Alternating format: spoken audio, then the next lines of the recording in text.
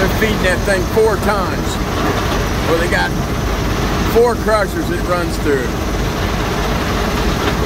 Stuff gets some pretty good sized stuff will go through it. But it's small when it comes out this end.